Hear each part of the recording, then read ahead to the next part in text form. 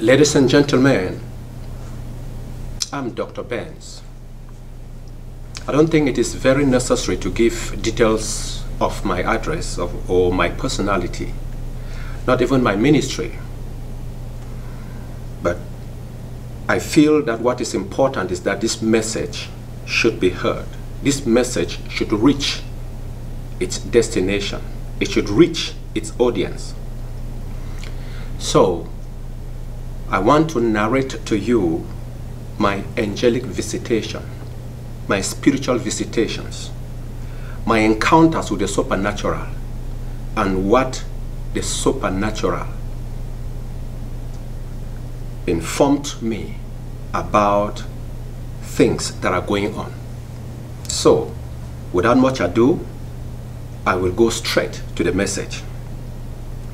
I will say only what God said to me I reserve my personal revelation and analysis for other separate communications because this is just one part of a couple.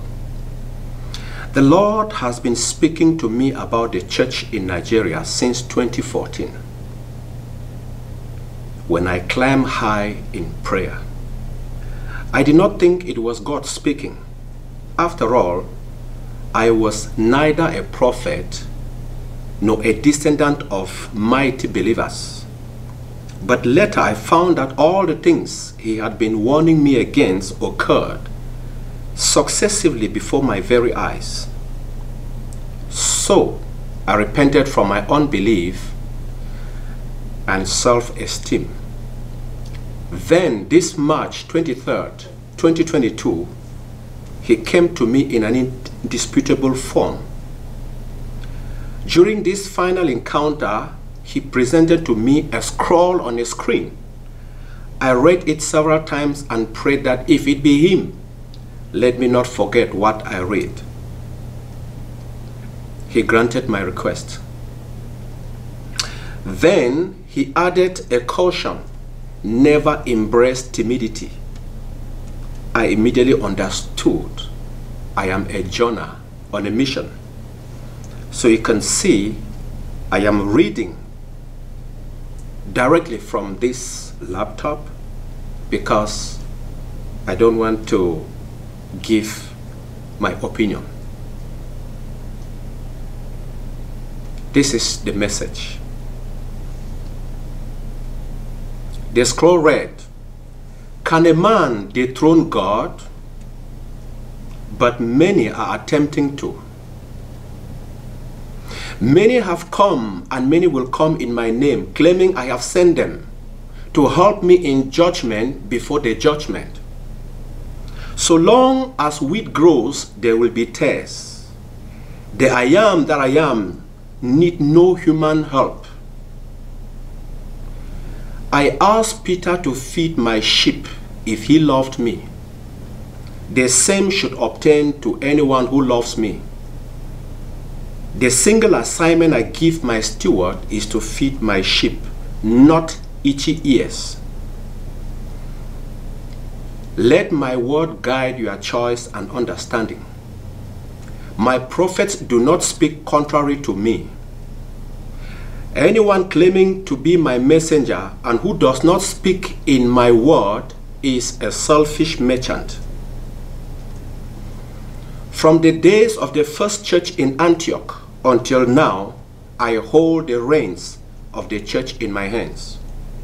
There will be a chastising fire, but that is reserved for the end. Can any man separate wheat from tares before the end? Can they not wait for the harvest season when every heart will be open before all men?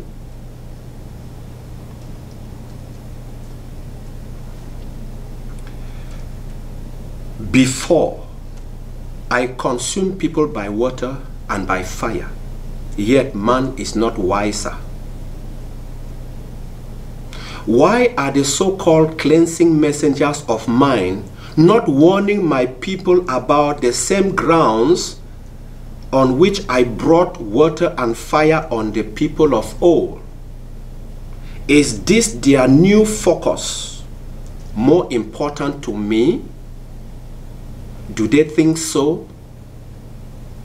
I never poured out my wrath on people because of the priests, for anyone is accountable for their misdeeds. These impostors make it seem like those not being scalded are in my holy chronicles.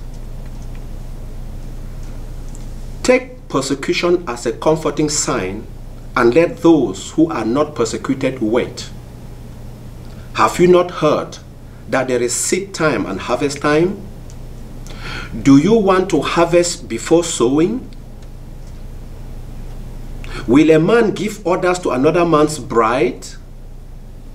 Did I ordain and cannot chastise? Can a man be wiser than God?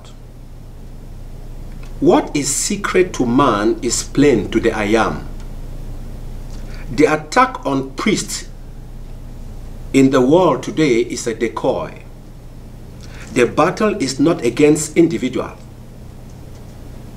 Strike the shepherd and you scatter the sheep. I sent my son to refuge in Egypt, remember? That was a covenant for a special kingdom assignment because the world is safe in Africa. The attack on the church in Nigeria targets this mantle. But as I said, my word changes not. I have built my church and the gates of hell cannot prevail against it. Tell them to fight a good fight.